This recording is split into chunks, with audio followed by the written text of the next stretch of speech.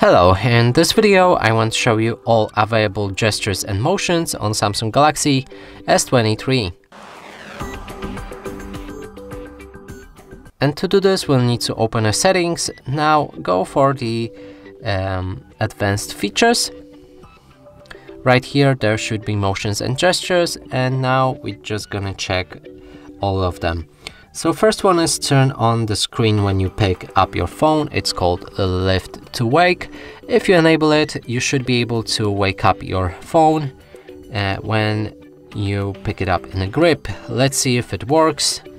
So I'm picking it up and as you can see it doesn't work. Maybe I'm not getting it, but yeah, the phone is not waking. So this function doesn't work at all. Let's move on to another Double tap to turn on or off screen, that's two options. I have them enabled, now let's see if they work. Double tap, it works fine. Double tap again, it locks the screen, works fine. Next up, we have keep screen on while viewing. If you enable it, you'll be able to set the infinite timeout on your phone by just looking at it. So depends on how long you look at uh, the phone. I guess it's a camera. When it detects your face, then it won't lock. Alert when phone picked up, so if you enable it and receive any call or message while your phone was locked and you didn't notice it, it will vibrate in your hand.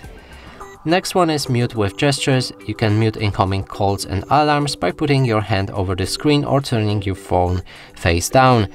So you can either perform this to mute the incoming call or place your phone like that and it should mute as well. Next and the last one is palm swipe to capture and that's a screenshot feature so you can take a screenshot by swiping down like this. Let's see if it works. Yep, it works fine. And that's all of the motions and gestures you get on Samsung Galaxy S23.